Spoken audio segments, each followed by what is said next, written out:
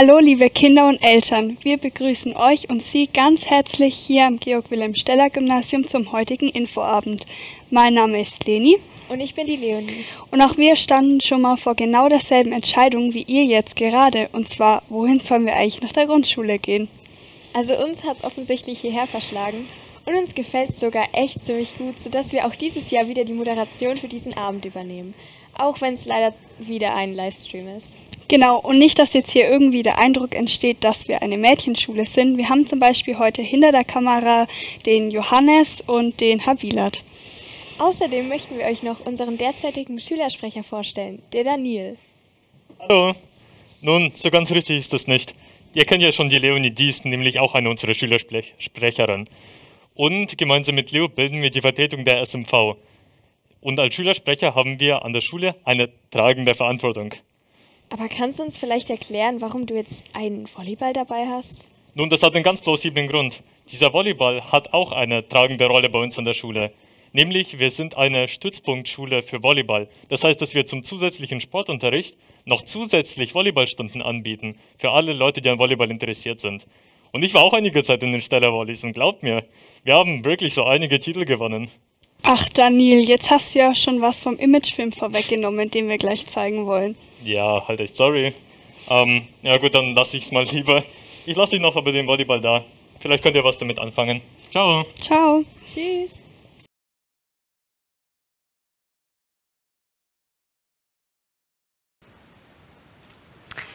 Also Leonie, ich muss sagen, da warst du wirklich noch ganz schön klein und hast dich jetzt ziemlich verändert. Ja, das stimmt. Vor allem, wenn man beachtet, dass wir jetzt eigentlich echt schon gefühlt eine halbe Ewigkeit hier im GWSG sind. Und ich weiß noch damals, als ich aus der vierten Klasse kam und in diese riesige Schule kam, es war schon anders, aber sobald man hier einmal drin ist, ist es eigentlich eher kleiner und familiär, so vor allem im Vergleich zu anderen weiterführenden Schulen. Ja, da hast du auf jeden Fall recht. Und wenn ihr euch doch mal irgendwie orientierungslos fühlen solltet, dann gibt es bei uns auch genügend Anlaufstellen, egal ob Jugendliche oder Erwachsene, denn die fangen euch im Zweifelsfall immer auf, so wie diesen Ball hier. Danke für den guten Wurf, Leni. Liebe Kinder und liebe Eltern, auch ich begrüße euch und Sie ganz, ganz herzlich an, am Steller Gymnasium, diesmal nur virtuell, aber direkt in unserer Schule. Und wir beide, die Frau Reichert und ich, wir sind für die Begleitung und für die Beratung zuständig, und zwar einmal für die Unterstufe und einmal für die Mittelstufe. Mein Name ist Michaela Peltner. Ich bin Unterstufenbetreuerin und unterrichte natürlich auch noch die Fächer Biologie und Chemie. Und als Unterstufenbetreuerin bin ich verantwortlich für den ersten Schultag. Das heißt, ich bin fürs Ankommen der Fünftklässler zuständig, das ich damit organisiere. Falls es die Pandemie zulässt, werden wir uns auf jeden Fall im März oder im April am Tag der offenen Tür sehen oder aber wir sehen uns am Kennenlernfest im Juli. Dankeschön. Mein Name ist Christiane Reichert. Die Frau Pettner hat es schon erwähnt. Ich bin für die Mittelstufe zuständig und unterrichte an der Schule auch Deutsch und Englisch. In der Funktion als Mittelstufenbetreuerin kümmere ich mich auch um die Tutorinnen und Tutoren, die eben gerade dafür da sind, euch, liebe Fünftklässlerinnen und Fünftklässler, im Lauf des fünften Schuljahres bei der Orientierung zu helfen. Die bieten tolle Aktionen an, die die Klassengemeinschaft stärken und die einfach Spaß machen. Und die Leonie, die ihr schon kennengelernt habt, die ist eine dieser Tutorinnen. Zur Stärkung der Persönlichkeit bieten wir dann in der siebten Klasse noch das Projekt Packmas an. Da wird mit spielerischen Mitteln wird die Zivilcourage und die Kooperation von Schülerinnen und Schülern gefördert, sodass es dem Mobbing vorbeugt. Genau, Mobbing ist ein Problem, das auftreten kann im Schulleben. Beratung und Begleitung ist eben genau dann zu, ähm, ganz wichtig und ähm, entscheidend, wenn es mal hakt, wenn es nicht ganz so reibungslos läuft. Und um zu zeigen, wer bei Problemen am GWSG ansprechbar ist, haben wir das Bild des Baumes gewählt. Da kommen dann auch Sie, liebe Eltern, wieder ins Spiel. Sie haben in den letzten Jahren Ihren Kindern schon Wurzeln, Stabilität und Sicherheit gegeben. Sie haben sie über die Grundschulzeit begleitet und Sie sind auch ganz wichtig jetzt im Verlauf der weiteren Schullaufbahn. Deswegen ist es uns ein großes Anliegen, mit Ihnen und auch der Vertretung, dem Elternbeirat, vertrauensvoll zusammenzuarbeiten in allem, was Ihre Kinder betrifft. Und sollte es doch mal Schwierigkeiten geben, dann sehen Sie in der Krone des Baumes die Ansprechpartner und Ansprechpartnerinnen. Und zwar sehen Sie da zum einen die Tutorinnen oder aber auch die Lehrkräfte logischerweise und die Schülerinnen und Schüler, die sich extra als Medienscouts ausbilden lassen. Das sind also Mittelstufenschüler und Schülerinnen, die in der Zusammenarbeit mit der Kripo in Ansbach und mit Mediatoren geschult werden und ähm, die Hilfe im Umgang mit dem Internet und auch mit dem Smartphone geben. Wir haben hier an der Schule das Glück, dass wir ein Beratungsteam direkt vor Ort haben. Da bin zum einen ich wieder mit dabei in der Rolle als Schulpsychologin, aber auch meine Kollegin Birgit Kahnbaum. Die Beratungslehrerin kann da ansprechbar sein. Wir versuchen dann gemeinsam mit Ihnen, den Eltern und auch den Kindern Lösungsmöglichkeiten zu finden für verschiedene Probleme, dass sich da Verbesserungen ergeben der jeweiligen Situation. Uns ist es ein großes Anliegen, eben auch die Persönlichkeit der Schüler zu stärken, nicht nur Wissen zu vermitteln. Und da kann man mit Goethe sprechen. Wir möchten mit dem Abiturzeugnis nicht nur Wurzeln verliehen haben, sondern eben auch Flügel, damit Ihre Kinder, damit ihr, liebe Kinder, gut ins Leben starten könnt.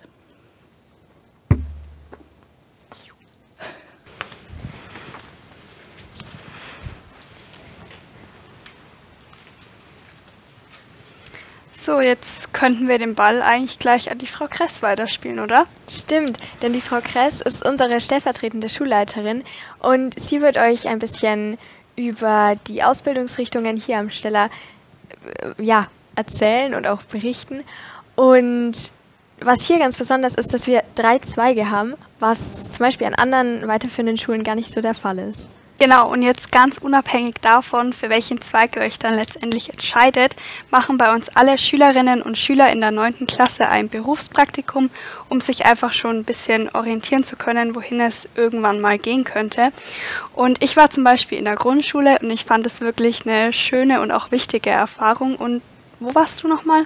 Bei Mediendesign. Ach ja, stimmt. Aber jetzt ist erstmal Frau Kress am Ball. Schön, lieben Sie. Guten Abend, liebe Kinder, guten Abend, liebe Eltern. In der Schule gibt es natürlich auch Unterricht. Und über den Unterricht ähm, erzähle ich Ihnen ein bisschen was. Am Gymnasium ist das eigentlich recht leicht nachvollziehbar. Man geht erst drei Jahre in die Unterstufe, drei Jahre in die Mittelstufe und dann drei Jahre in die Oberstufe. Und drei mal drei gibt neun. Wenn alles glatt läuft, hat, äh, hat man nach neun Jahren das Abitur. Viele von euch, liebe Kinder, aber auch von den Eltern, wissen aber nicht so richtig, wo die Schwerpunkte in der Schullaufbahn sind. Und deswegen möchte ich da gern einen Überblick geben. In der Unterstufe, die Klassen 5 bis 7, die ersten drei Jahre, ist eigentlich alles gleich. Man hat die gleichen Fächer. Es gibt eine Ausnahme, auf die komme ich später nochmal zurück.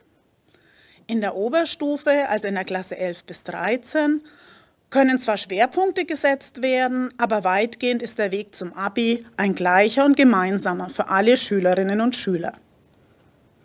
Besonders hinschauen muss man bei der Mittelstufe, den Klassen 8 bis 10, weil am Anfang der Mittelstufe die Ausbildungsrichtung gewählt wird. Und die Ausbildungsrichtung beeinflusst das Fächerangebot in der Mittelstufe. Bei uns hier an der Schule gibt es drei Ausbildungsrichtungen. Also könnt ihr hier am Steller-Gymnasium mit ganz unterschiedlichen Interessen, ganz unterschiedlichen Talenten und Begabungen Schwerpunkte setzen. Und das ist eine Sache, die sehr attraktiv ist. Deswegen möchte ich euch, liebe Kinder, in der Folge die Ausbildungsrichtungen kurz vorstellen. Blau seht ihr jetzt das naturwissenschaftlich-technologische Gymnasium. Der Schwerpunkt hier liegt auf den Fächern Physik, Chemie, Informatik. Die Fächer werden entweder etwas früher unterrichtet oder mit zusätzlichen Stunden. Das ist vor allem für Schülerinnen und Schüler interessant, die technisch etwas lernen wollen, die gern experimentieren und die computeraffin sind. Aber natürlich nicht, weil sie gerne zocken, sondern weil sie programmieren wollen und sich mit dem System, das hinter dem Computer steckt, beschäftigen wollen. Rot seht ihr hier das sprachliche Gymnasium. In der Ausbildungsrichtung könnt ihr liebe, liebe Kinder, eine dritte Fremdsprache lernen. Das sprachliche Gymnasium ist also ideal für euch, wenn ihr neugierig seid auf andere Kulturen, wenn ihr ein Faible für Sprachen habt und vielleicht auch gerne reist. Jetzt komme ich auf die Besonderheit in der Unterstufe zurück, denn das sprachliche Gymnasium können nicht alle Schülerinnen und Schüler wählen, sondern nur diejenigen, die nach der ersten Fremdsprache Englisch in der sechsten Klasse Latein gewählt haben. Die können in der achten Klasse zusätzlich noch Französisch wählen. Da das ein Bereich ist, wo es immer wieder Fragen und Missverständnisse gibt, würde ich das gern noch ein zweites Mal deutlich sagen. Zwei Fremdsprachen lernt an einem Gymnasium jeder Schüler, jede Schülerin. Bei uns lernen in der fünften Klasse alle Englisch, in der sechsten Klasse Latein oder Französisch. Und da besteht die Wahlmöglichkeit. Lernt man Französisch, hat man Englisch und Französisch als Fremdsprachen. Lernt man aber in der sechsten Klasse Latein, dann besteht in der, achten in der achten Klasse die Möglichkeit, Französisch als dritte Fremdsprache zu wählen. Der dritte Zweig, den ihr, liebe Kinder, bei uns besuchen könnt, ist in grün eingezeichnet, das sozialwissenschaftliche Gymnasium. Die Eltern wundern sich vielleicht, warum sie die Fächer, die da eingeblendet sind, nicht kennen. Das liegt daran, dass mit dem neuen Lehrplan das Fach, das früher Sozialkunde hieß, einen neuen Namen bekommen hat, nämlich Politik und Gesellschaft. Und ich glaube, der Name sagt eigentlich viel besser, worum es in dem Fach geht. Es geht um politische Zusammenhänge und Akteure, das Verfassungssystem und vor allem um Gesellschaft. Darum, wie der Einzelne im Einklang mit seinen Mitmenschen leben kann, wie er sich sozial engagieren kann. Dabei werden auch soziale Berufe in den Blick genommen. Es ist also ein attraktives Angebot für Schülerinnen und Schüler, die sich für politische und gesellschaftliche Fragen interessieren. Eine zusätzliche Besonderheit ist hier auch noch eingeblendet. In der neunten und zehnten Klasse des sozialwissenschaftlichen Gymnasiums gibt es eine Pflicht zum Praktikum. Man muss insgesamt 15 Tage soziales Praktikum ableisten fünf in der Schulzeit, zehn in den Ferien. Aber wenn es keine Corona-Einschränkungen gibt, dürfte das kein Problem sein. So, Leonie hat in ihrer Vorstellung Folgendes gesagt. Wir sind eine relativ kleine Schule mit familiären, engen Bindungen. Und ihr könnt an dieser kleinen Schule drei unterschiedliche Ausbildungsrichtungen wählen. Das ist etwas Besonderes. Und ihr könnt damit eure Interessen, Talente, Vorlieben, die ihr so habt, ansprech, äh, so ansprechen, dass nichts dagegen spricht, dass ihr im September zu uns ans Steller kommt. Ich würde mich darüber freuen.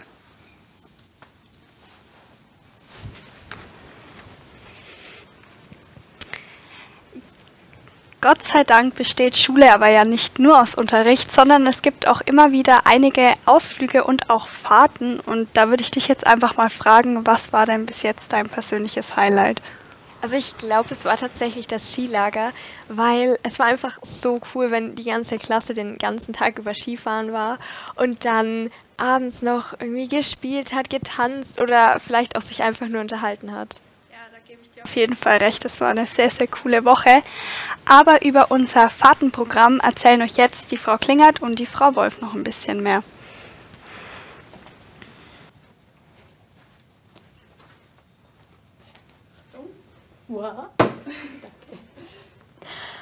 Ja, guten Abend zusammen. Mein Name ist Eileen Klingert. Ich bin hier Lehrerin am Steller für die Fächer Englisch und Französisch. Ich bin die Antje Wolf und ich unterrichte hier Latein und Französisch und das auch sehr gerne in der Unterstufe. Und die Frau Klingert und ich, wir werden euch jetzt ein bisschen was erzählen von unseren Fahrten, die auf euch warten, wenn ihr zu uns hier an die Schule kommt. Genau.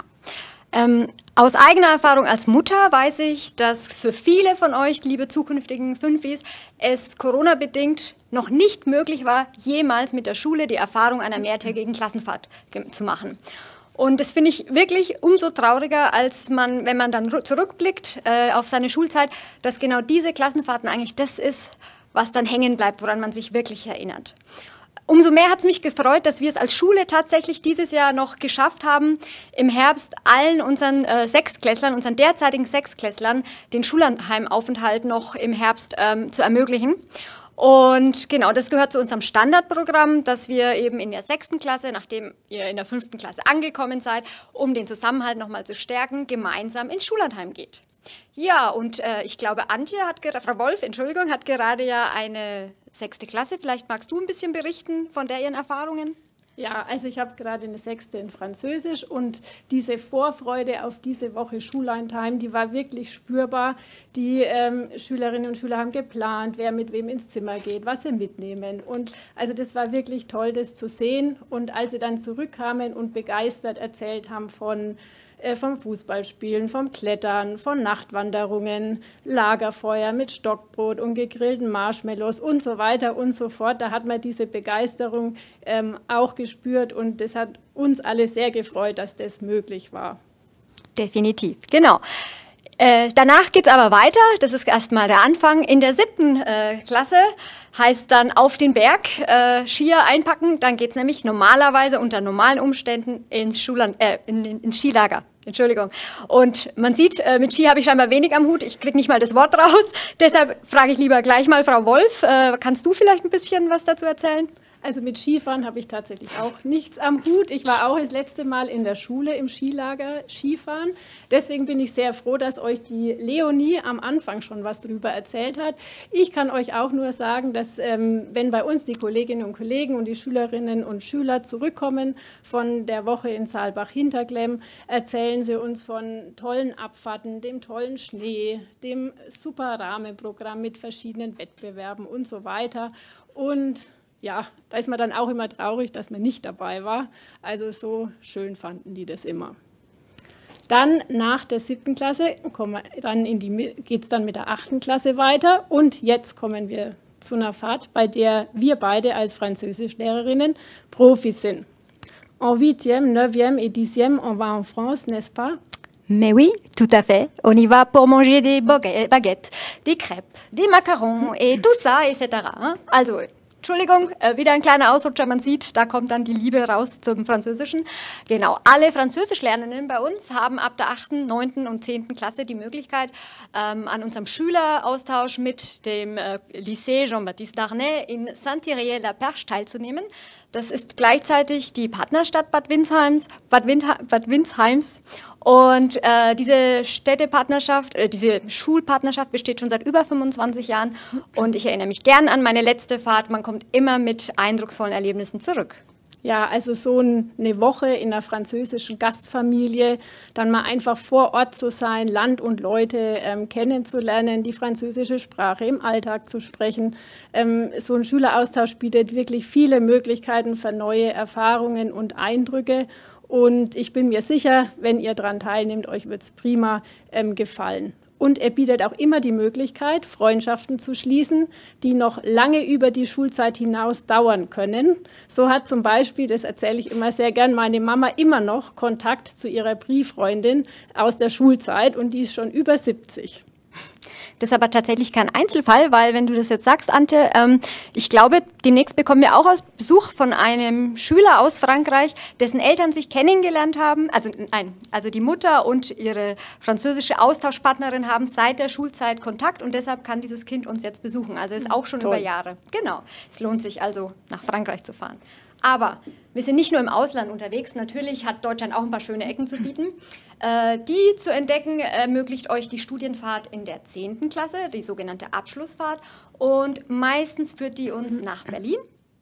Und da steht dann auf dem Programm das Übliche wie äh, Checkpoint Charlie, Bundestag, Bundesrat, Schloss Bellevue, Berliner Nightlife. Muss man vielleicht dann auch mal sehen. Ja, genau. Ich glaube, Du fährst dieses Jahr auch wieder nach Berlin mit, richtig, Antje? Ja, nicht mit einer zehnten, sondern sogar mit einer elften. Ich begleite einen Kollegen, der gerade ein ähm, W-Seminar in Geschichte anbietet. Und ich bin mir sicher, wir werden auch viele Sachen anschauen, von denen du gerade berichtet hast. Und ähm, von diesen W- und P-Seminaren, ähm, von denen gerade die Rede war, die sind eben bei uns in der Oberstufe und bieten auch nochmal die Möglichkeit, dass ihr rauskommt, unterwegs seid.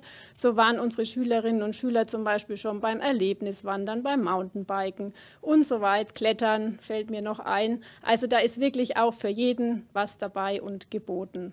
Und ähm, Eileen, jetzt fällt es mir ein, du bist doch dieses Jahr im Sommer auch dabei. Na klar, ich bin auch in der Oberstufe MP-Seminar dabei. Dreimal darfst du raten, wo es hingeht. Frankreich? Paris! Ah. Und äh, ich freue mich unendlich, äh, gerade auch auf die Gruppe mit der Frau Schreiber. Und könnte mir vorstellen, wie schön es wäre, wenn ich vielleicht in drei, in vier Jahren hier stehe und sage, ja, wir fahren gemeinsam mit dir, äh, lieber Fünfklässler, dann irgendwo hin. Da freue ich mich drauf und in diesem Sinne freuen wir uns, wenn ihr zu uns an die Schule kommt und viele spannende Sachen mit uns erlebt. Salut! Bis bald! Und dann gehen wir jetzt wieder zurück an die Leonie. Dankeschön. Hat es euch bis jetzt gefallen? Dann solltet ihr bzw. Sie jetzt nochmal richtig gut aufpassen, denn jetzt wird unser Schulleiter, der Herr Nickel, noch einige wichtige Infos verteilen. Und der versenkt sozusagen den finalen Treffer. Naja, eigentlich muss man ja sagen, wenn ich so an unser Abi-Fußball zurückdenke, wo Lehrer gegen Schüler spielen, ähm, dass der Herr Nickel eigentlich immer versucht, Bälle abzuwehren, denn der steht da immer im Tor.